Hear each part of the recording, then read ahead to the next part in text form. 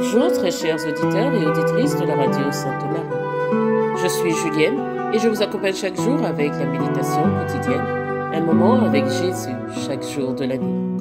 Aujourd'hui, 15 février, le Seigneur Jésus-Christ nous dit Viens à moi avec toutes tes faiblesses, qu'elles soient physiques, émotionnelles ou spirituelles. Repose-toi dans le confort de ma présence et souviens-toi que rien ne m'est impossible.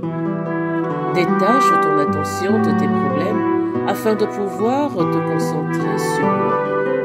Souviens-toi que je peux faire infiniment plus que tout ce que tu demandes ou penses. Au lieu d'essayer de me pousser à faire ceci ou cela, cherche à t'adapter à ce que je suis l'anxiété essaie d'infiltrer tes pensées, rappelle-toi que je suis ton berger.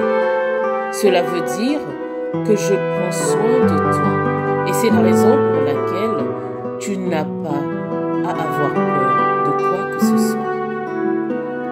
Au lieu d'essayer de maintenir le contrôle sur ta vie, abandonne-toi à ma volonté. Même si cela peut sembler effrayant l'endroit le plus sûr se trouve au cœur de ma volonté.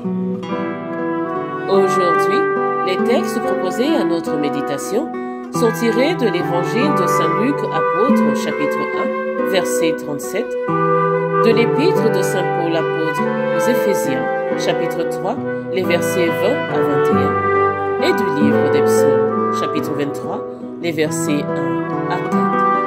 Je vous souhaite de passer une agréable journée et vous donne rendez-vous demain sur les ondes de la radio Sainte-Marie, la radio de l'espérance chrétienne.